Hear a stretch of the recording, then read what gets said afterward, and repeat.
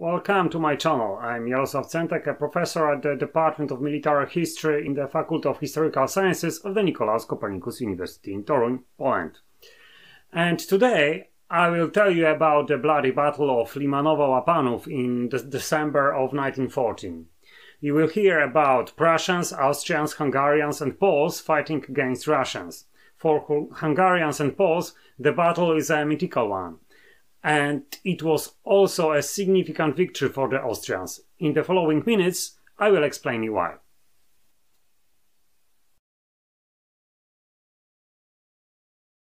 The Austro-Hungarian forces was the Russian Third Army, commanded by the General of the Infantry Radko Dmitriev.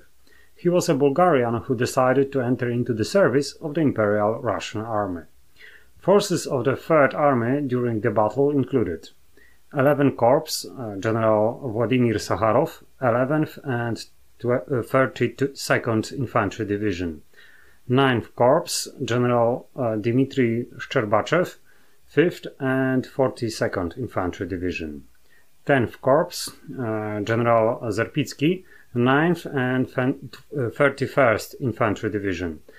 21st Corps, General Shkinsky, 33rd and 45th, uh, 44 uh, Infantry Division. In the battle, Russians also engaged a part of the 8th Army commanded by the General of Caval Cavalry Alexei Brusilov, one of the best Russian generals in the Great War.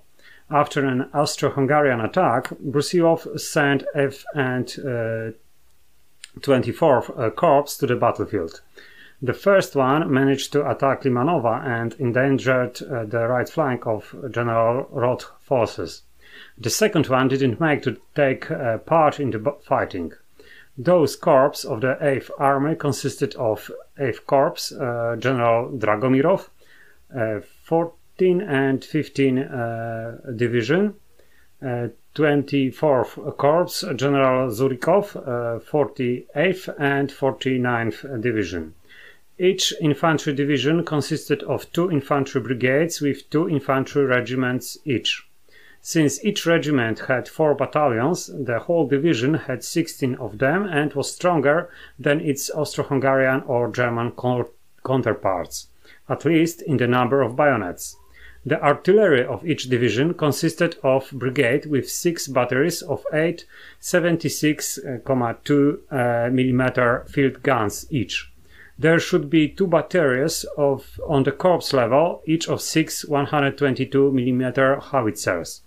The problem with Russian artillery was a permanent lack of ammunition that hindered its firepower. Unfortunately, I don't know the number of bayonets in Russian divisions, but they were neither fresh nor exhausted. The composition of Austro-Hungarian forces changed during the battle.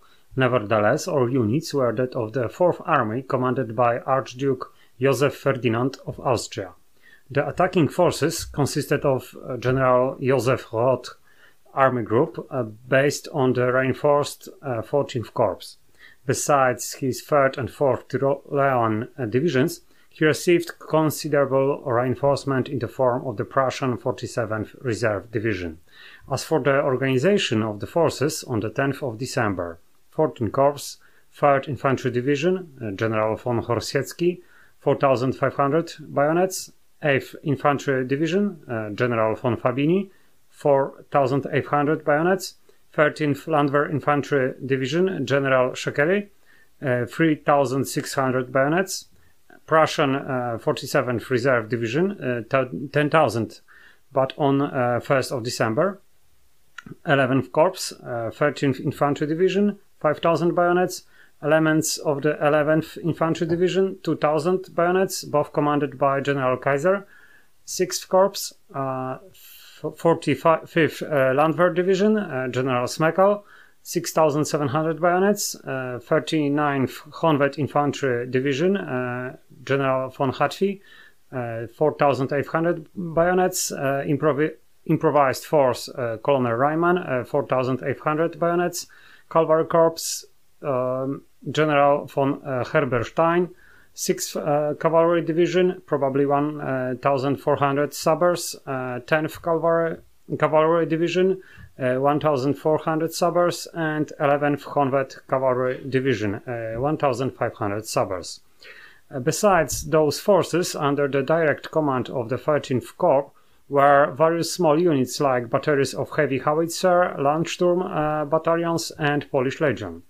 The latter consisted of three infantry battalions and one uh, cavalry squadron, with two assigned mountain artillery batteries. Austro-Hungarian divisions were mostly exhausted ones. The Prussian unit was relatively fresh, which received uh, its uh, baptism of fire on the relatively peaceful sector of the Western Front. The Prussians were inexperienced, and the Battle of Limanowa-Łapanów was their first significant engagement. In the hilly terrain of the Beskids, especially the part called Island Beskids. The highest peak there is Mogielica, with 1170 meters above sea level. A few other ones also exceed the 1000 meters. The region was relatively poor and primarily agricultural, with some oil industry in the vicinity of Limanowa.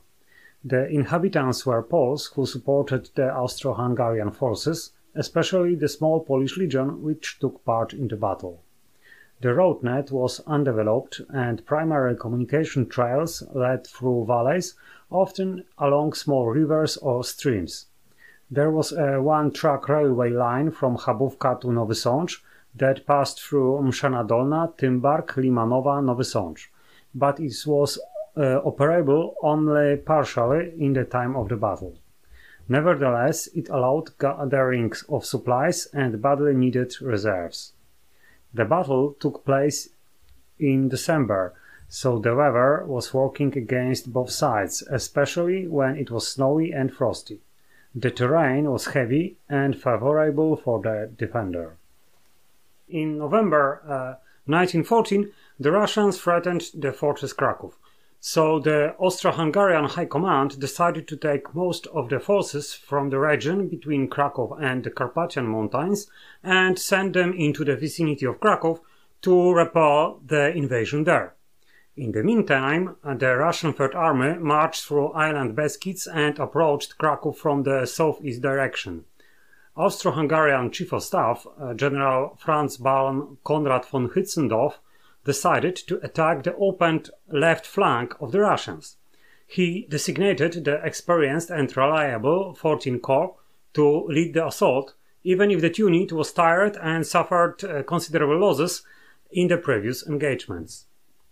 At the end of November, Roth's divisions concentrated in the area of Mszana Dolna Rabka, and the Prussians gathered behind them.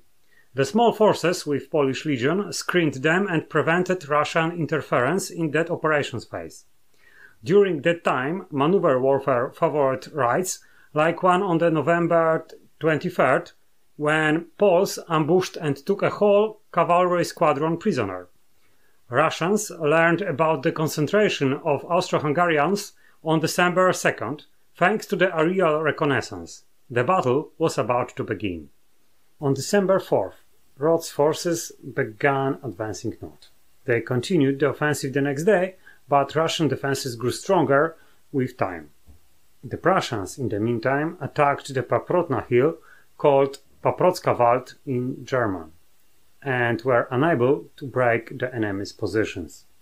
Instead of becoming uh, the spearhead of the advance, the 47th Reserve Division was like a hinge. It fought more or less in the same area, sustaining heavy losses and engaging Russian troops, but couldn't gain any significant terrain. In the meantime, on the left flank of the Prussians, Austro-Hungarians wheeled from the northern direction into the eastern direction. The peak of their successes came on the 8th and 9th of December. After that, the Russian resistance was too stubborn to be broken. The more important factor was that General Brusilov wouldn't allow his fellow army commander to be defeated. As mentioned earlier, uh, he was one of the best Russian generals of the war. Brusilov decided, decided to send 8th Corps to help Radko Dmitriev's forces. That move made the Austro-Hungarian situation in the battle extremely complicated. Józef Piłsudski, who commanded Polish Legion in the battle, expected Russian trains and re rear formations were retreating in the vicinity of Nowy Sącz, so on December 6th he sent his small cavalry force to capture them. Soon it became evident that the Russians were advancing and that a new unit, the 15th Infantry Division, had arrived on the battlefield. Poles managed to uh, retreat towards Limanowa, slightly slowing the enemy's advance. They used all black powder ammunition for their obsolete guns, which became useless after that battle. Poles were withdrawn into the reserve and soon received orders to cover the far right flank to protect Mszana Dolna area from the threat of the Russian cavalry. In the face of the Russian advance, General Herbert Herberstein took command of Austro-Hungarian forces in the vicinity of Limanowa. The Russians started shelling the place with artillery and ignited some oil storage, causing, causing uh, panic in the town. At that critical moment, the 39th Honved Infantry Division had arrived, and General Arthur Arz von Straußenburg became the new Austro-Hungarian commander of the right-wing forces. At the same time, the 14th Infantry Division of the Russian 8th Corps attacked the Kobyla, in Polish it means Mar, hill, uh, forcing uh, Austro-Hungarians to retreat. The right flank of the Prussians was now in danger, but they were holding the terrain. On December 10th, uh, the Russians uh, counterattacked Roth's left wing and pushed it back behind the Stradomka River. The offensive changed into desperate defense. On December 11th, the dismounted Hungarian Honved Hussars attacked Jabłoniec Hill in the vicinity of Limanowa. That move resulted in heavy, bloody hand-to-hand fighting that became legendary in Hungary. Commander of the Hussars, Colonel Ottmár Muhr, was killed during the engagement with a considerable part of his subordinates. Nevertheless, Limanowa was secured fight of the Hungarian Honved Hussars on the Jabłoniec hill didn't influence the overall situation much. The battle was decided elsewhere. Commander of the Russian 8th Army, General Brusilov, as mentioned earlier, pushed his 8th Corps on Limanowa and the 24th Corps to Gorlice, creating a gap in his lines. It was an excellent opportunity for the Austro-Hungarian Third Army, which advanced without much resistance, as you can see from the map. The offensive threatened to encircle the positions of the both uh, the Russian Third and Eighth armies. The only way of avoiding that was to retreat. The Russians decided to do so on the 13th of December. The Third Army marched east and the Eighth Army went north. Austro-Hungarian forces were victorious. But it is essential to point out that Radko Dmitriev and Brusilov were not beaten, but merely outmaneuvered. The retreat enabled them to shorten their fronts and prepare reserves. So the next uh, Russian offensive operation in that region was only a matter of time. The Battle of Limanowa-Łapanów was indeed a bloody one. Soon after the Russian retreat, temporary burials of the dead started. It took the next few years to create a net of military cemeteries for the fallen soldiers. It is not the place to talk about those graveyards, but they also provide information about the losses. Unfortunately, Austro-Hungarians are often unidentified and without information about the unit and the date of death. It can't be determined if the fallen soldier lost his life during that uh, particular battle or not. In the case of Russians, the situation is even worse. Only seldom uh, were the dead identified.